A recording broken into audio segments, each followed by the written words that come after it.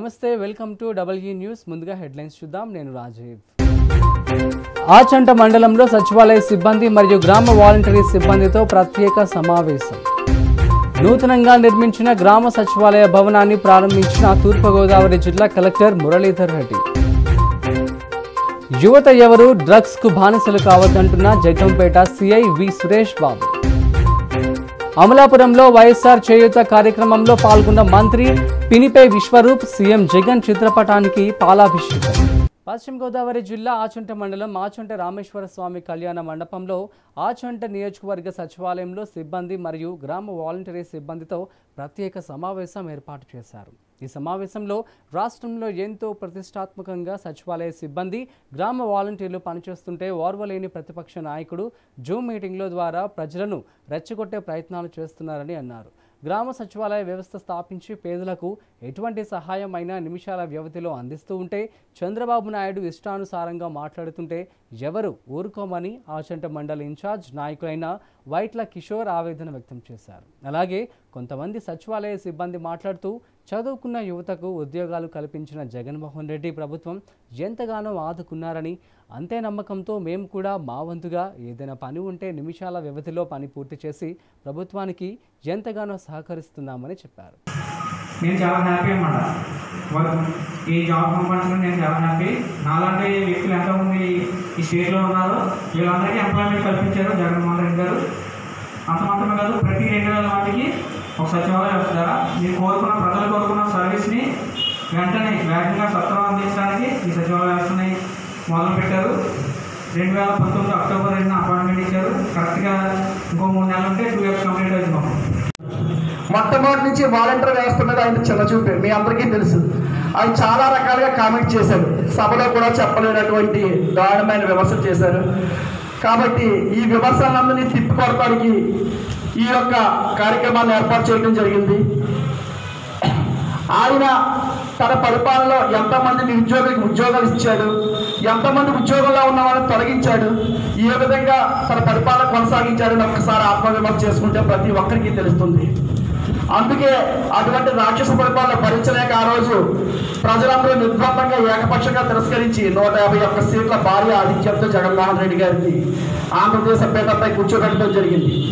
ఆ నమ్మకాన్ని బొమ్మ చేయకుండా జగన్మోహన్ రెడ్డి గారు సంవత్సరం తిరగకుండానే నాలుగు లక్షల పైచిలకు సచివాలయ ఉద్యోగాలు ఏర్పాటు చేస్తే ఇప్పుడు వారిని కూడా కిచ్చపరిచేలా వారికి ఉద్యోగ భద్రత లేదనో లేకపోతే మరొకటి లేదనో చేస్తున్నారు. అంతేకాకుండా ఇతర ప్రభుత్వ శాఖల్లో ఉన్న ఉద్యోగాల అర్థరహితమైన విమర్శలు.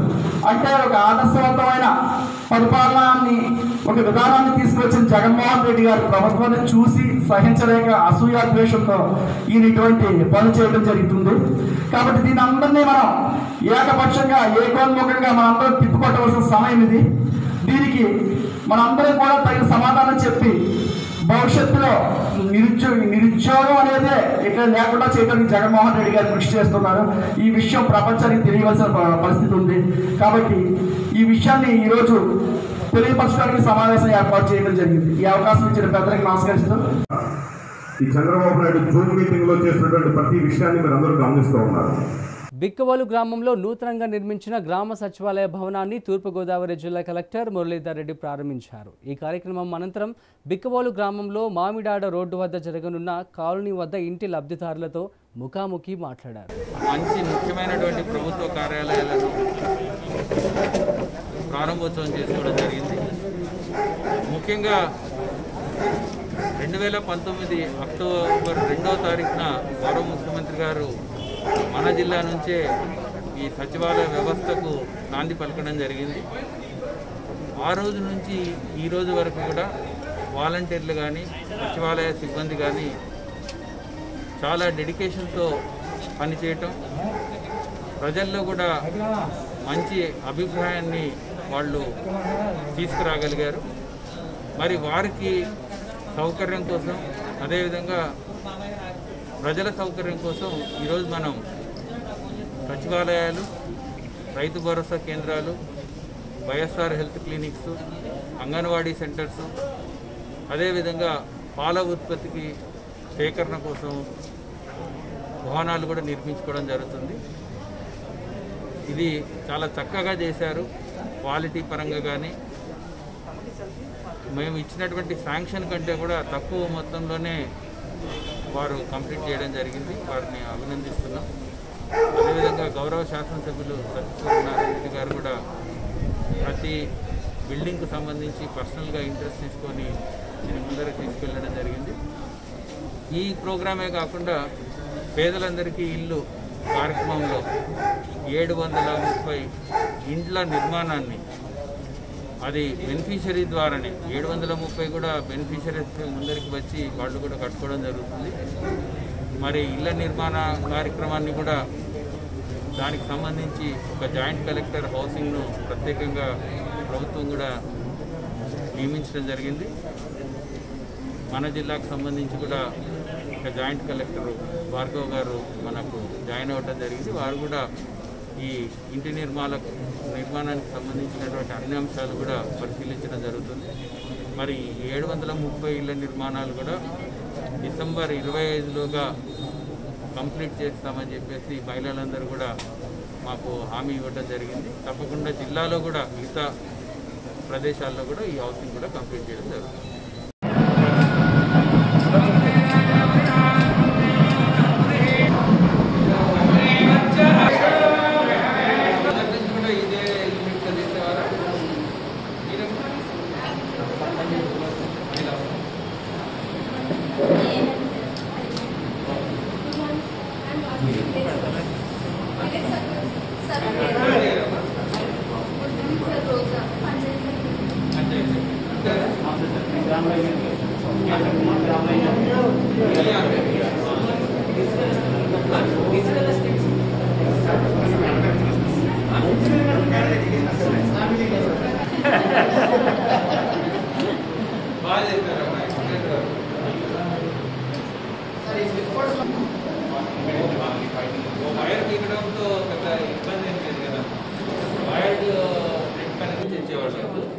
మన చెప్పండి అమ్మా మీరు మన ఓన్ ఎంప్లాయీస్ వాళ్ళు ఎక్కడ పెడితే కరెక్ట్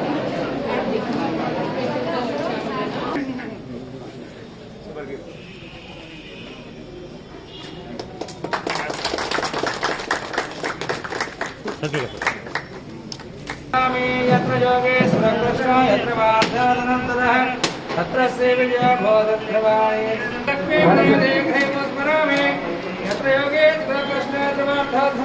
యువత ఎవరూ కూడా డ్రగ్స్కు బానిసలు కావద్దని వాటికి ఎంత దూరంగా ఉంటే అంత ఆరోగ్యకరంగా ఉంటారని జగ్గంపేట సిఐవి సురేష్ బాబు అన్నారు. ఇరవై ఆరవ తేదీ ప్రపంచ డ్రగ్స్ వ్యతిరేక దినోత్సవం సందర్భంగా జిల్లా ఎస్పీ నాయిం అస్మి పెద్దాపురం డిఎస్పీ అరిటాకులు శ్రీనివాసరావు ఆదేశాల మేరకు జగ్గంపేట ఎస్ఐఎస్ లక్ష్మి ఆధ్వర్యంలో నిర్వహించిన కార్యక్రమానికి ముఖ్య అతిథిగా జగ్గంపేట సీఐ సురేష్ బాబు పాల్గొన్నారు. ఈ సందర్భంగా జగ్గంపేట కాకినాడ మెయిన్ రోడ్లో ప్లకార్డులతో ప్రదర్శన నిర్వహించారు. అనంతరం మానవహారం నిర్వహించి ప్రజలకు డ్రగ్స్ వాడకం పట్ల కలిగే ప్రమాదాలను వివరించి యువతకు అవగాహన సదస్సు ద్వారా చైతన్యం కల్పించారు. ఈ సందర్భంగా సురేష్ బాబు మాట్లాడుతూ ఈ వారం రోజులు డ్రగ్స్ వారంగా జరుపుకోవడం జరుగుతుందన్నారు. యువత డ్రగ్స్కు బానిసలై అనారోగ్యాలకు గురవుతున్నారని అనారోగ్యాలకు గురి చేసే డ్రగ్స్ వైపుకు వెళ్ళకూడదన్నారు. అందరికీ నమస్కారం. ఎల్లుండ అనగా ఇరవై ఆరో తేదీన డ్రగ్స్ వ్యతిరేక దినోత్సవంగా ప్రపంచ డ్రగ్స్ వ్యతిరేక దినోత్సవంగా జరుపుకోవాల్సి ఉంది. దానిలో భాగంగా ఈ వారం కూడా ఏదైతే ఈ వారం ఉందో ఈ వారం కూడా డ్రగ్స్కి వ్యతిరేకంగా అందరికీ కూడా ప్రజలందరికీ కూడా అవేర్నెస్ కల్పించాలనే ఉద్దేశంతో ఈ వీక్ని డ్రగ్స్ అవేర్నెస్ వీక్గా ప్రకటన ప్రకటించడం జరిగింది. యువత అందరికీ కూడా విజ్ఞప్తి చేస్తూ ఉన్నాం ఏదైతే ఈ డ్రగ్స్ యూటిలైజేషన్ ఉందో ఈ డ్రగ్స్ యూటిలైజేషన్ అనేది ఆరోగ్యానికి హానికరమే కాకుండా ఒక మనిషి తాలూకా మానసిక స్థితిని కూడా పరివర్తన చెందే విధంగా చేస్తూ ఉంటుంది. కాబట్టి మనిషి మానసిక ప- పరిస్థితి పరివర్తన చెందిన సందర్భంలో ఎలా బిహేవ్ చేస్తాడో ఎలా ఉంటాడో కూడా తెలియదు తెలియని పరిస్థితి ఉంటుంది. తల్లిదండ్రులకి అలాగే అక్క చెల్లెలకి బంధువులకి స్నేహితులకి కూడా తేడాని విస్మరించి అతను బిహేవ్ చేయడం జరుగుతూ ఉంటుంది. కాబట్టి ఏదైతే ఈ డ్రగ్స్ ఉన్నాయో అప్పటికి తాత్కాలికంగా అతనికి ఉత్తేజభరితంగా ఉన్నప్పటికీ కూడా దానిలో లాంగ్ రన్లో దాని తాలూకా రిఫర్కేషన్స్ చాలా దారుణంగా ఉంటాయి. ఎందుకంటే డ్రగ్స్ స్లో పాయిజన్ కింద పనిచేసి మనిషి తాలూకా ఆరోగ్యాన్ని దెబ్బతీస్తుంది. మనిషి చనిపో మనిషి చనిపోయేంత వరకు కూడా అది వదలదు. ఎందుకంటే మనిషి చనిపోతే ఒకసారి మరణం సంభవిస్తుంది. కానీ ఈ డ్రగ్స్ అలా కాదు. ఎలా అంటే ఏదైనా బాడీలో ఉన్నటువంటి ఒక్కొక్క పార్ట్ని ఒక్కొక్క పార్ట్ని కూడా పని చేయకుండా చేసి మనిషి బతుకుండగానే అతన్ని అతని తాలూకా నరకాన్ని చూపించే విధంగా ఈ డ్రగ్స్ చేస్తాయి కాబట్టి అందరూ కూడా ఏదైతే ఈ డ్రగ్స్లో డ్రగ్స్కి ఎవరో కూడా యువత ఎవరో కూడా బానిస కావద్దని చెప్పి ఆ యువత అందరూ కూడా సన్మార్గం వైపు ప్రయాణించాలి. డ్రగ్స్కి అలవాటు ఉన్న వాళ్ళు ఎవరైనా ఉంటే కనుక వారిని తక్షణమే పోలీసు వారి దృష్టికి తీసుకొస్తే వారికి కౌన్సిలింగ్ సెంటర్స్ ద్వారా కానీ లేదంటే ఏదైనా రిమాండ్కి పంపించడం ద్వారా కానీ అవసరమైనటువంటి ట్రీట్మెంట్ పోలీస్ చేస్తుందని చెప్పి మీ అందరికీ మనవి చేసుకుంటూ యువత అందరికీ కూడా మరొకసారి మనవి చేసుకుంటా ఉన్నాం. ఈ మత్తు పానీయాలకి ఎవరు కూడా అలవాటు పడద్దు. మీరు సేఫ్గా ఉండండి. మీతో పాటుగా మీ ఫ్యామిలీ సేఫ్గా ఉంచుకోమని చెప్పి మీ అందరినీ కోరుకున్నాం థ్యాంక్ యూ. థ్యాంక్ యూ అనండి అమలాపురం అంబేద్కర్ కమ్యూనిటీ భవనంలో అమలాపురం నియోజకవర్గ స్థాయి వైఎస్ఆర్ చేయూత కార్యక్రమంలో రాష్ట్ర సాంఘిక సంక్షేమ శాఖ మంత్రి పినిపే విశ్వరూప్ పాల్గొన్నారు. ఈ సందర్భంగా మంత్రి మాట్లాడుతూ నియోజకవర్గంలో పదకొండు వేల ఏడు వందల ముప్పై నాలుగు మంది అక్క చెల్లెమ్మలకు వైఎస్ఆర్ చేయూత పథకం ద్వారా ఇరవై రెండు రూపాయల కోట్ల లబ్ధి చేకూరిందని చెప్పారు. అనంతరం అక్క చెల్లెమ్మలు ముఖ్యమంత్రి వైఎస్ జగన్మోహన్ రెడ్డి చిత్రపటానికి పాలాభిషేకం చేశారు.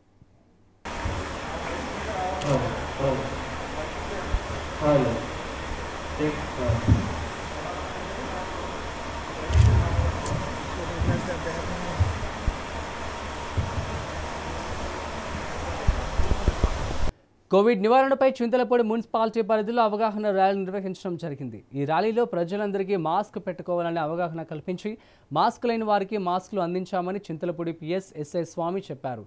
కోవిడ్ వ్యాక్సిన్ వేయించుకోవాలని ప్రజలకు సూచించినట్లు తెలిపారు.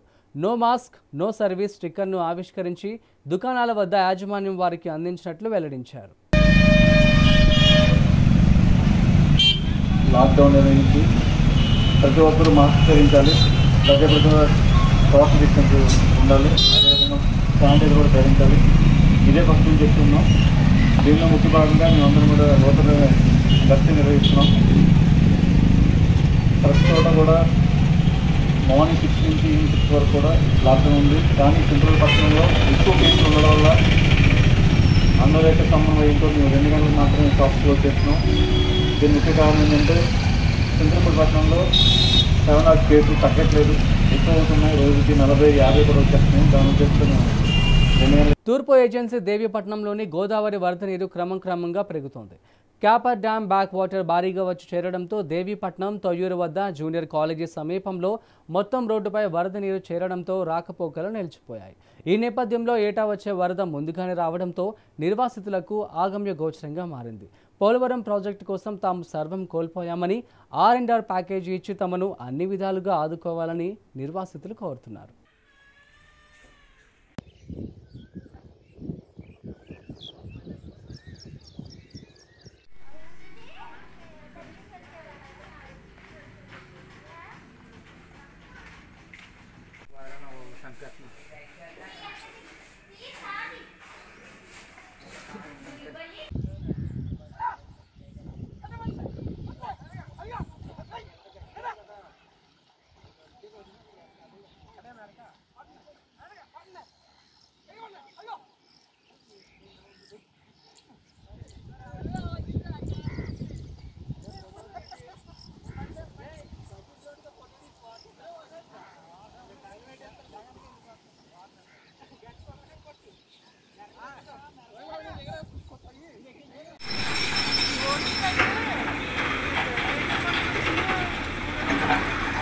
పశ్చిమ గోదావరి జిల్లా ద్వారకా తిరుమల మండలం జీ కొత్తపల్లి గ్రామంలో అక్రమంగా తరలిస్తున్న రేషన్ బియ్యాన్ని గ్రామస్తులు అడ్డుకున్నారు.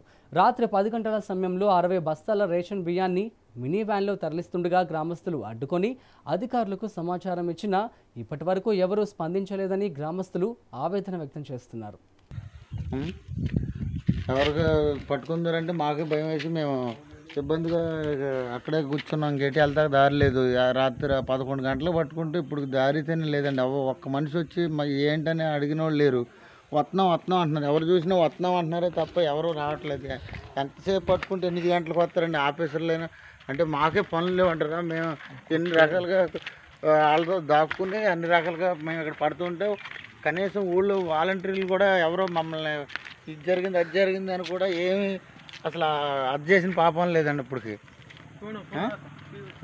రోజు రెండు రోజులకి మూడు రోజులకి ఈ అన్యాయం ఎవరండి అరికట్టేది? ఈ కోట ఈ బియ్యం అసలు ఎలా ఎవరు అమ్ముతున్నారు ఎవరు కొంటున్నారు అసలు ఏం తెలియకుండా అయిపోతుంది ఇక్కడ. ఊరు ఊర్లాగా లేకుండా? దయచేసి అందించి ఊ- ప్రజలను గవర్నమెంట్ ఈ బియ్యం ప్రజలకు అందేలా చేయండి కొంచెం. ఇవి ఈ బులెటిన్ విశేషాలు చూస్తూనే ఉండండి double A news. This is Raj signing off.